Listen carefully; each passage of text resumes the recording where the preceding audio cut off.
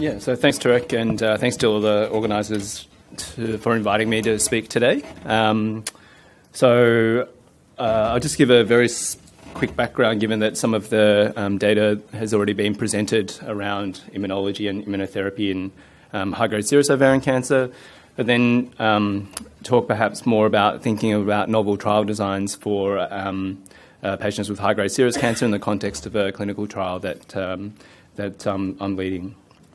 Uh, so uh, this has been presented already, but just to, by way of background, that high-grade serous ovarian cancer is the most common type of epithelial ovarian cancer and is characterized by um, very common um, uh, deficiencies in homologous recombination and um, P53 mutations, and that rather than it being driven by somatic um, uh, mutations, that it's really um, a disease of very high copy number alterations. And um, Linda already presented this before, but just to point out that um, ovarian cancer sits somewhere in the uh, left to the middle um, in this um, chart, which describes the um, frequency, oh, sorry, the mutational burden in these various different cancers in relevance to the frequency of formation of neoantigens, which is thought to be an important uh, uh, potential correlate for immune response.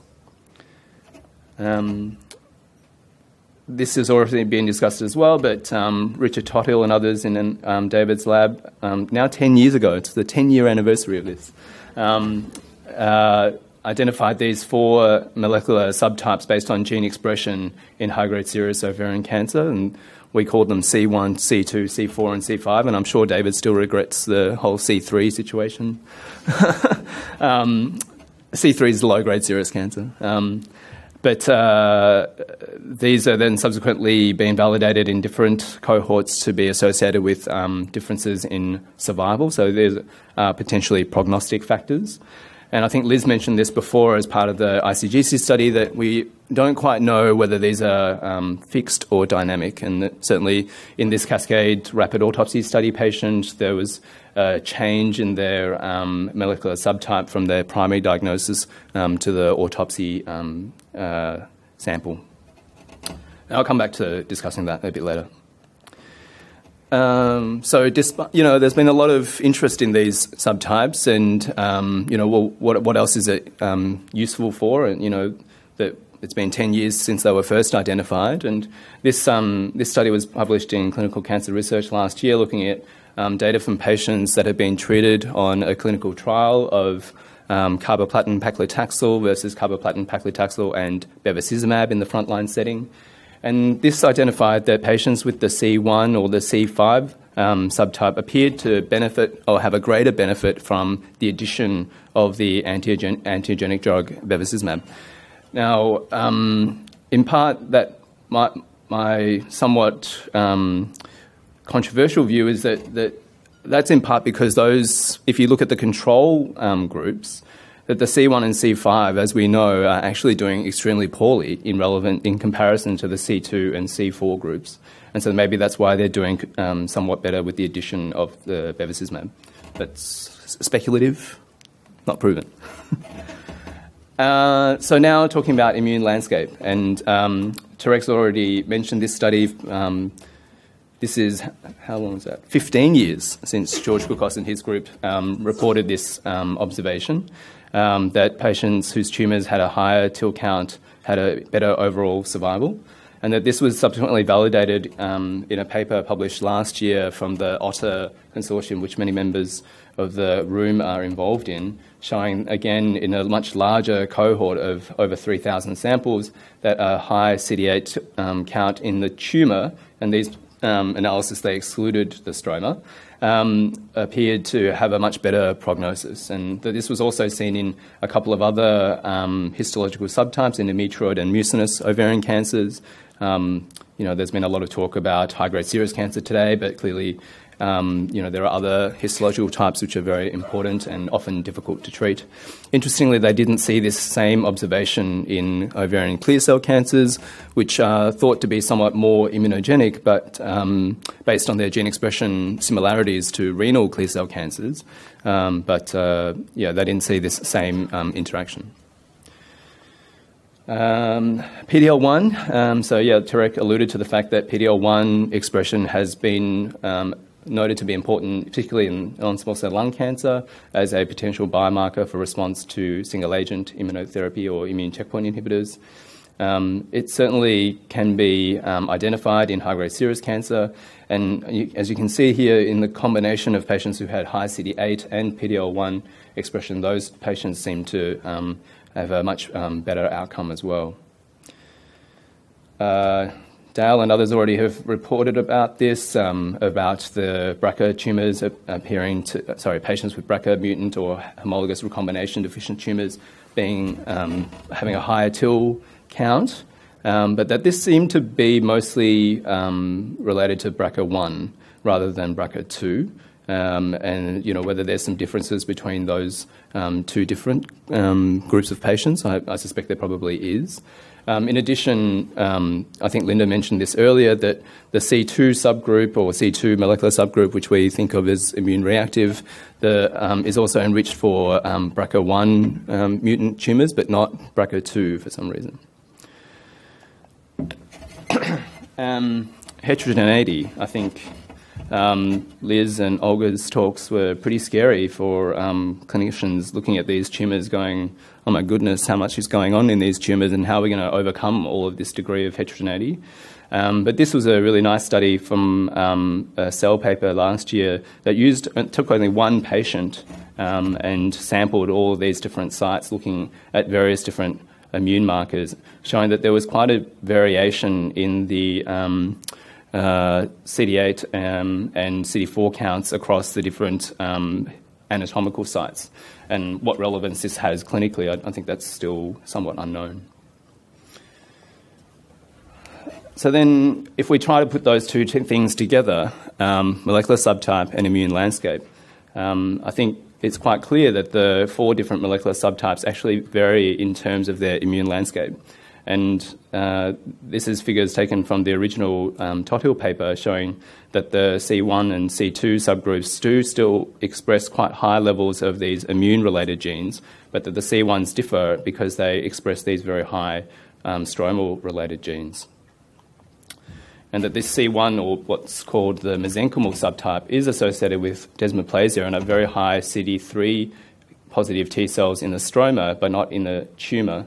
Um, and you can see that on the H&E section on the right there, that um, you see a lot more brown dots um, in the C2 and you see some brown dots in the C1, but they're all um, stuck in the stromal component, um, and that was quantified in the um, figures down below. what's interesting is uh, I was listening to Peter's talk, and that, that it seemed that both stroma and epithelial uh, TILs were important in, in breast cancer, and, and uh, you know, all, most of the work in, in high grade serous has really been in relation to the TILs in tumour. Um, right, so this is a study trying to, I suppose, um, work that out in a bit more detail. And they took 143 tumour samples from 21 different patients and did quite comprehensive um, uh, assays of um, genomics and um, RNA-seq and immune profiling and they broke it down into three different groups N-TIL, S-TIL, and ES-TIL. So N is no TILs, S is stromal, and ES is um, both within the epithelium and the stroma.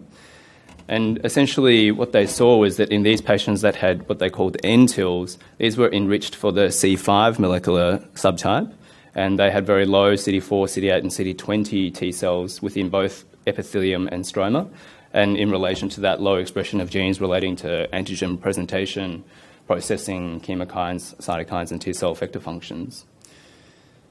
In contrast, the S TILs or the stromal TILs were enriched for the C1 subgroup, and they had very high expression of um, these genes relating to um, immune functions. Um, and then finally, the ES TIL group, which um, they saw was um, enriched for the C2 or immune reactive um, subgroup. So, what does that all mean? Um, so, I think of it in some ways a little bit simplistically like this that if you break those four subgroups down, you have the C1s, which are um, very desmoplastic but have a um, high immune signature. And then you have the, T2, the C2 subgroups, which are TIL rich and very high expression of those immune related genes. Not too sure what to make of C4, so I've got a question mark over that. And then the C5 subgroup, which are what we would term as immunolo- immunologically cold tumours. And whether this could be an important or some way of using it as a biomarker um, to identify um, patients for immunotherapy combinations based on this um, immunological differences. So I guess that leads us to Beacon. So um, Beacon stands for bevacizumab, atezolizumab, and cobimetinib in targeting the C1 subtype of high-grade serous ovarian cancer. And um, yeah, I'm very grateful for um, Danny Rischin and David Bowtell to um, give me the opportunity to lead this trial. Um, it's been a, a, big body of work, and um, we're very um, we, have been very pleased to have everything lined up now, and we're hoping to have our site initiation visit at the end of the month. So we're very excited to get that up and running. Um, so this, patients, uh, this study will pre-screen up to 200 patients for their molecular subtype using their archival surgical material. And for patients who have been identified as having a C1 molecular subtype, they'll be um, enrolled into the study and have a pre-treatment biopsy, followed by a run-in period of cobimetinib, a MEK inhibitor, and bevacizumab, and then another biopsy after that, and then go on to the triplet combination until progression. There are this study um, is an investigator-initiated study that's funded through the IMCORE Alliance, which is a um, initiative from Roche Genentech to support investigator-initiated studies in um, immuno-oncology. So the basis of this study was that desmoplasia is associated with a high expression of TGF-beta, and it's, TGF-beta is subsequently regulated by pathways including RAS, RAF, MEK, and that MEK inhibition has been shown to alter desmoplasia and enhance immune response and immune checkpoint blockade.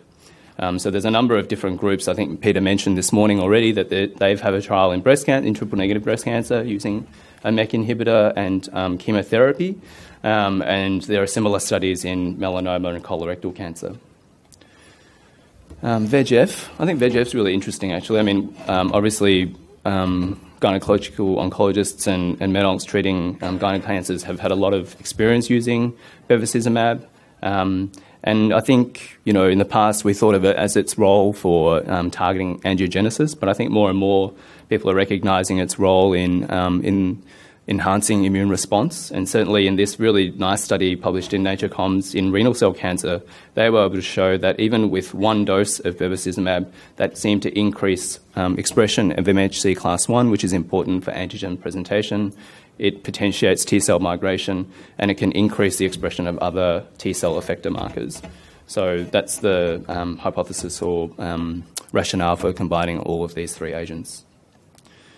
Um, this is just to highlight that this is the type of assay that we're going to use to identify patients with the C1 molecular subtype. Um, again, um, um led by Huisan Liang, who was a postdoc in David's lab previously, um, so that patients will have their tumour um, RNA extracted, run on the NanoString platform, and the bioinformatics team at Peter Mac have implemented an analysis pipeline to generate a report that will be issued back to the treating clinician. And then this is the study schema, and you'll see that we've ambitiously planned for uh, at least three and potentially four um, tumour-related biopsies. Um, you know, I think some of the um, feedback has been that you know this is obviously a very ambitious um, plan, but um, you know I'm a strong believer in that that that we need to understand the biology of these diseases and how they respond to treatment and what changes we identify in the tumours is critical to understanding whether these drugs are working or not working. I think hundreds of thousands of women have been recruited to clinical trials of various different agents over the years that have all unfortunately been negative, and we don't really have good ideas as to why. And I think this is, you know, a, a tremendous opportunity to, learn. I think we've, you know, been, um, you know, with the developments in technology and being able to um, assay these samples um, thoroughly and rigorously, um, you know, we'll be able to learn. Uh, you know, I don't think this will be the last study um, in this context, and really, hopefully, these studies will help inform the subsequent future studies. Um, and these are just some of the work that's already um, been planned for some of the samples that we're um, hoping to collect. So, thank you very much. that's all I've got for today.